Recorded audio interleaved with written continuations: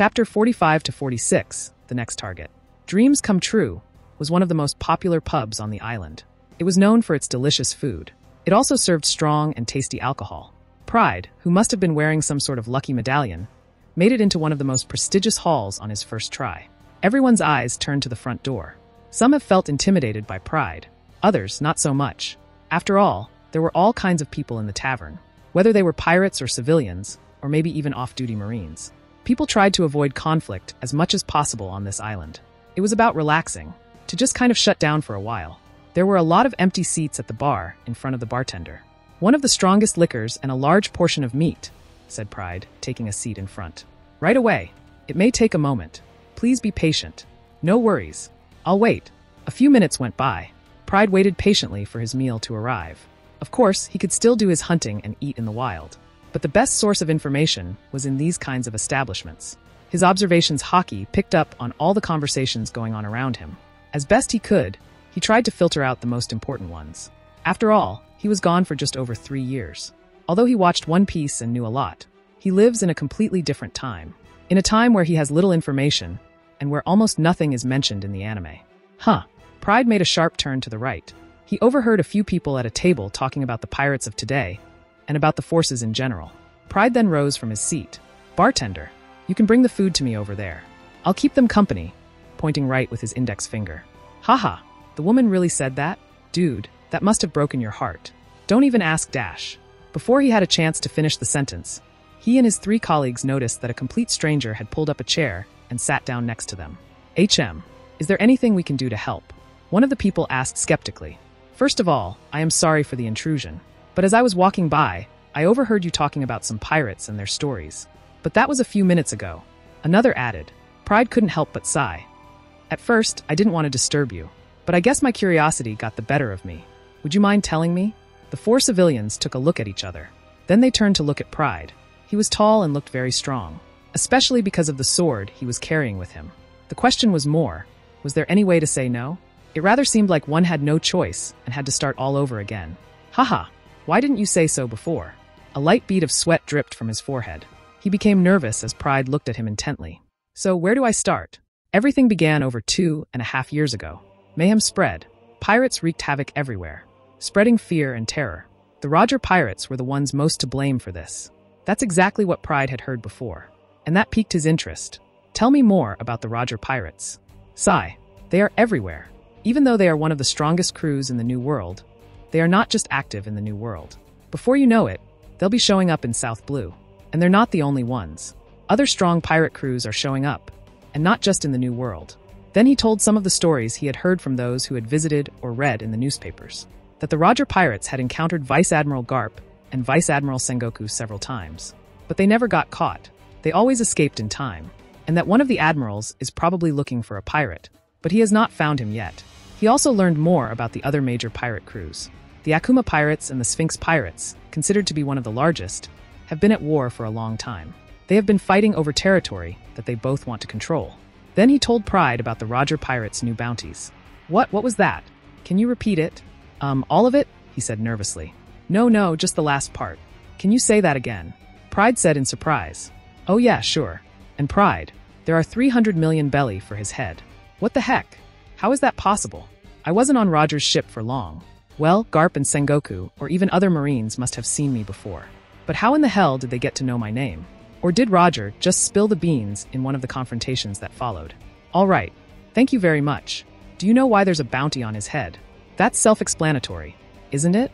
He was seen with the Roger pirates. I'm sure someone who hangs out with such a dangerous crew must be dangerous and crazy himself. I hope the Marine catches that son of a bitch. Sigh. You might want to take a look at the current wanted posters on the wall over there. It's not just the Paradise ones. The New World ones are there, too. Oh, I didn't know that. Thank you, Pride said and stood up. He glanced to the side. Then he looked at the wall. Even from a distance, he could see the wanted posters that were hanging there. He became curious. I wonder, what do the new bounties look like? Many wanted posters hung on the wall. From left to right, many lines down. Pride started from the left. He skipped over the low bounties. In the beginning, the Pirates of Paradise were the most prominent ones. Somewhere in the middle of it all, he came across his wanted poster. Dead or Alive Pride 300.000.000. How is that even possible? The picture of his wanted poster. Pride was clearly in the picture there, with his whole body on display. I never saw anyone take a picture. Besides, Morgans was only six years old at that time. So how the hell did they manage to take the photo? And in such a good resolution at that, too. Sigh. At least now I don't look like I do on the wanted poster. The power of a beard. After him, the bigger pirates began to appear. Most of Roger's crew and others above 400M were visible. Eventually, he stopped at Gaban and the others. He began to smile. Dead or alive Scopper Gaban 1.000.000.0000. Dead or alive Silvers Rayleigh 1.600.000.000. Dead or alive Gol D. Roger 2.000.000.000. In the past, their bounties were already at a very high level. That's why the increase has been so small over the years, I think. Oh. Dead or alive Shinwa D Heman 2.599.000.000. Dead or alive Ishin Ekama 2.649.000.000. Very high indeed. I'm sure there are other bounties that are similar to this, but they're not up here. I mean, Xebec doesn't hang there either. A sinister atmosphere spread. Pride, who had previously jumped from the middle level bounties to the highest level bounties, now had a look at the other bounties that were very high. He was in a rage. He totally lost control. Boom. His overwhelming conqueror's haki spread out completely and was beyond control. Instantly, all the people in the tavern became unconscious.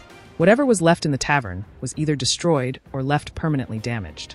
Even the walls began to crack. The people who had been in the pub were gone. There was no one left in his or her place. Everyone was thrown unconscious through the air. They landed somewhere in the area. But in his fit of rage, Pride had forgotten to hold back his haki. And so it happened. Not only the people around him lost consciousness. Oh no! At that very moment, almost all of the people on the island were lying around somewhere, unconscious. The tremendous energy was felt by some of those who were still very much conscious. Somewhere on the island. What a terrifying conqueror's haki. Who was that? Sigh. I just wanted to have my peace. Why was it that one of the Tenryubito wanted to go on a vacation here, of all places? And why the hell was I sent here? Now not only do I have to babysit him, but I also need to deal with the problem. And so a stranger made his way to Pride. Unfortunately, it was too late for Pride to realize that he was letting his haki flow out uncontrollably. In the next moment, he reined it in, so much that it was completely gone. Looking around, he noticed that everything in the tavern was in disarray. Tables and chairs were broken somewhere, and people were lying in corners. Sigh. This was not supposed to happen, but for a moment, I lost my composure. He picked up something from the ground. A wanted poster. Dead or alive Draco 1.400.000.000. Son of a bitch. It won't be much longer. You are going to be my next target. I am going to make you suffer. That is my promise to you. Pride crumpled Draco's wanted poster and tossed it into a corner. Then he walked out of the pub. Actually, I had intended to stay here for a while longer, but now I have lost the desire to do so. Huh. Pride was surprised. In his anger, he forgot to focus on his observations haki. He did not notice that some of the island dwellers were still conscious. One of them even approached him. Not too far away, someone moved forward in a blur. Unknown POV. Was that Roger or Akuma? That conqueror's haki was similar to theirs. Or was it that pirate again? The one Midori told us about? That Xebec, who was nowhere to be found. Hmm. Should I evacuate the Tenryubito first? Although no, that piece of shit can wait. I can't stand there babbling for now. It did not take him long at all. The stranger had arrived at his destination. With one of the Rokushiki techniques, the Soru, it was easy for him to move at breakneck speed. Now there were two people facing each other. It seemed that the person was waiting for his arrival. Huh, who the hell is that? It's definitely not one of the Roger pirates or the Akuma pirates. And by his appearance, it's not Xebec either. But someone with such a strong conqueror's haki would have to be very well known, right? Who are you?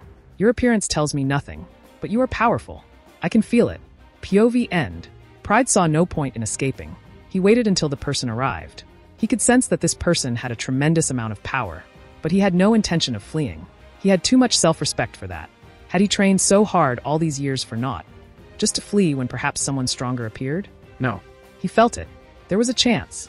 They were roughly on the same level, even if there was a small difference. When the person appeared in front of him, they looked at each other for a moment. Pride was asked a question, but he did not answer because he was in some kind of trance. My good fortune, of course. I'm starting to feel like I've been cursed or something. Hell, I'm on a resort island. Why the hell am I meeting someone with the strength of an admiral? Hey, it's rude not to answer when asked. This time, Pride's attention was focused on the person. He was a huge man, nearly 3 meters 50 tall. He had a very muscular body and a very broad stature. He was wearing brown boots and a pair of black pants. Over the pants, he was wearing a white t-shirt. On the shirt was the Marine insignia. On top of that, he was wearing a white navy coat. He had a very distinctive, charismatic face. A white navy cap covered his medium-long purple hair. Zephyr, Pride murmured. Oh, you seem to know me quite well. And you also don't look like a civilian. That only makes you more dangerous in my eyes, Zephyr said with a serious attitude. Zephyr can already be considered as one of the strongest beings. For many years, I have been training hard. A fight against him would definitely be a great experience. And he should be 32 years old by now. His nickname Black Arm hasn't been given to him yet. He will get it in the next few years. Is it so important for you to know my name? asked Pride. FHH. But of course, your face is foreign to me. And I guess you don't want to tell me either since you're a wanted pirate. Haha H. My name is Pride. But enough talking. If you want to fight, let's do it. That's when his eyes began to shine with a reddish hue. It was as if a storm was about to sweep across the island. An eerie black aura spread in the distance. It caused cracks to appear in the buildings. The sky, which until recently had been filled with brilliant sunshine, was now covered with a dark veil. Only flashes of black lightning rained down. Pride focused on Zephyr and nobody else. Not that it would have made any difference, as most of the inhabitants were unconscious anyway. Zephyr, who was used to such conquerors' haki, was not bothered by it. It was as if his legs were firmly planted in the ground. He only shifted by a few millimeters. Faha H, excellent. Pride, 300 million belly bounty. Pretty low bounty for such a strong guy, eh? Size. He is an admiral candidate for a reason, and one of the closest to Garp Haki wise. Zephyr's eyes did not waver. His gaze was one of seriousness. How about if we go a little further into the forest? At least then there will be no harm to innocent people. Pride knew it was a resort island, and that there were many civilians on this island. He didn't hesitate with his response. Perhaps he was a cold-blooded killer, but he did not want to see innocent people suffer. Whatever. Zephyr grinned. Then follow me. Soru. Boom. The ground literally crumbled beneath him as he moved at an incredible pace. Pride also blasted out with terrific velocity and trailed after him. A few minutes later, they were several kilometers away. Far and wide, there was not a soul to be seen or felt. Well, it's far enough. We may begin. Pride was now face to face with Zephyr. Just 100 meters separated them. The latter didn't hesitate to act. As he lunged forward, the Vice Admiral's right arm glowed black. Pride did the same thing. With these words, two black fists clashed. A tremendous amount of energy was released. The island was shaken to its very core. A second collision followed, pushing Pride several meters back. Your armament haki is impressive, but it's not enough, Zephyr said, charging forward. Pride grinned at that. Both of his arms glowed black as they made contact with Pride. Asterisk boom, asterisk, asterisk boom, asterisk, asterisk boom, asterisk.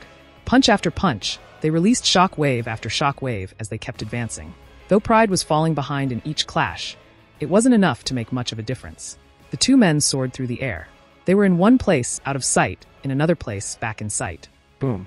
Another blast shakes the surroundings. The two men descend to the ground, with a 60 meter distance between them. Both were completely uninjured. Pride grinned and burst into laughter. HHHA. I think that's enough of a warm up.